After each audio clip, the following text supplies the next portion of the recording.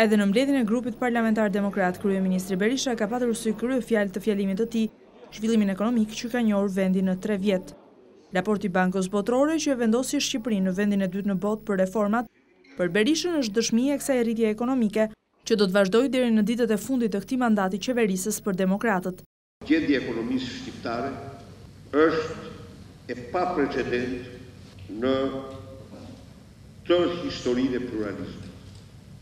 Gjer tre javë para zgjedhjeve do të jetë reforma, reforma dhe vetëm reforma. Javën që vjen hapet gara për parë për gjashtë parqet industriale, Javët në vazhdim, janë javë privatizime shumë të rëndësishme, janë javë koncesione shumë të mëdha. Kryeministri në mënyrë të detajuar ka parashtruar përpara deputetëve të grupit të tij parlamentar të gjitha reformat e qeverisë që sollën rritjen dyshifrore ekonomike, ndërsa foli për nismat ligjore që priten të miratohen brenda këtij sesioni parlamentar, siç është ligji i urbanistikës, një ligj që sipas kreut të mazhorancës, do të thjeshtësojë procedurat e tejzgjatura për dhënien e lejeve të ndërtimit.